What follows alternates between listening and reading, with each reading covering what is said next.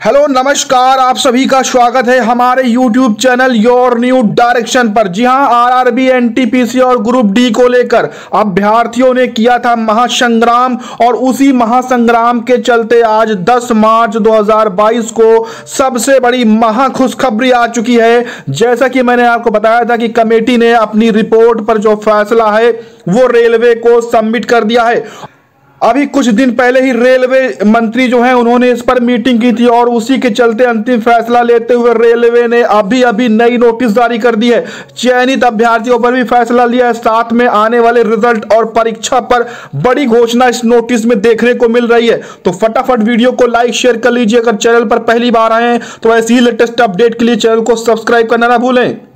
आप देख सकते हैं government of India ministry of railway की तरफ़ से ये नोटिस आज की तारीख में, यानी कि 10 मार्च को जारी की गई है। और ये जो नोटिस है, आप देख सकते हैं कि रेलवे की भर्ती के लिए जिस पर काफ़ी ज़्यादा यहाँ पर बवाल था, उसी को लेकर जारी किया गया। ये कुछ महत्वपूर्ण पॉइंट्स हैं, हम इनमें जो महत्वपूर्ण पॉइंट्स हैं, वो हम आपको अभी बता देंगे। आप देख सकते हैं पूरा जो नोटिस है, ये यहाँ पर अभी दस मार्च को एकदम अभी अभी यहाँ पर जारी किया गया है। अब यहाँ पर आप देख सकते हैं कि इसमें क्या क्या चीज़ें महत्व महत्वपूर्ण है। जैसा कि 20 गुना यूनिट छात्रों को जो रिज़ल्ट है वो जारी करने की छात्रों की मांग थी, उस पर इस फैसले को जारी कर दिया गया है। यानी कि छात्रों की बात मान ली गई है और 20 गुना छात्रों को जो रिज़ल्ट है वो यहाँ पर बदल कर जारी किया जाएगा।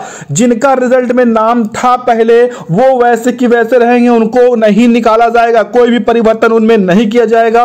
वहीं पर तीसरा जो पॉइंट है वो है, ग्रुप डी में सीबीटी टू जो है, जिसका ऐलान अभी सरकार ने किया था कि अब ग्रुप डी में सीबीटी टू का भी एग्ज़ाम होगा, लेकिन अब वो नहीं होगा। इस पर भी छात्रों की बात को मान लिया गया है। और चौथा पॉइंट है कि एनटीपीसी का जो रिवाइज्ड रिज़ल्ट है, यानी कि 20 गुना जो रिज़ल्ट है, वो अप्रैल के, यानी अगले महीने के अप्रैल में प्रथम सप्ताह में जारी कर दिया जाएगा।